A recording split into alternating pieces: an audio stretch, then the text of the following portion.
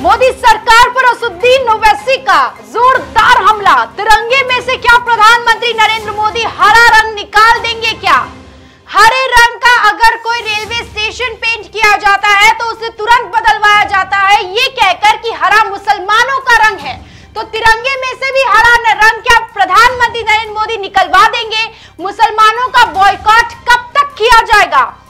अडानी मुसलमान और चीन के मुद्दे पर लोकसभा में ओवैसी जमकर बरसे हैं। सुनिए। ने दिल्ली में कहा कि मुसलमानों का समाजी बाइकाट करो। बरसर इकतदार जमात ने गुलबर्गा के रेलवे स्टेशन को हरा रंग किया गया था। उसको ये कहकर तब्दील कर दिया कि मुसलमानों का रंग है। सर, मैं पूछना चाहता हूँ, क्या नरेंद्र मोदी की सरकार तिरंगे के हरे रंग को निकाल देंगी? क्या हरा रंग मुसलमानों का है? क्या नरेंद्र मोदी की सरकार खरबूजे पर पाबंदी आयद कर देगी और देश की जनता से कहेगी कि नागपुर में आपके हेड ऑफ़िस में उगा हुआ सिर्फ़ संतरा खाया जाएगा।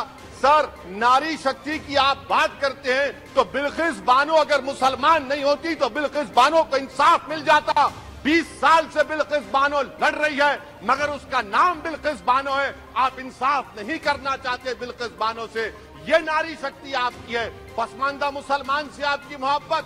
दीजिए 1950 के प्रेसिडेंट और तरमीम करिए। दलित मुस्लिम का स्टेटस पसमानदा को दीजिए। आप नहीं देना चाहते। क्या मजहबी आज़ादी का उनको हासिल नहीं है? स्पीकर साहब, मैं मुसलमान हूँ। मेरे बगैर ये मुल्क नामुकम्मिल है। मैं इस मुल्क का यरगमाल नहीं हूँ। मैं इस मुल्क का कैदी नहीं हूँ। मैं पूरे सिटीजनशिप की राइट को चाहता हूँ और अभी चाहता हूँ कब आप बिहार के सुरजापुरी और कोलैया बादरी को कौमी ओबीसी स्टेटस देंगे?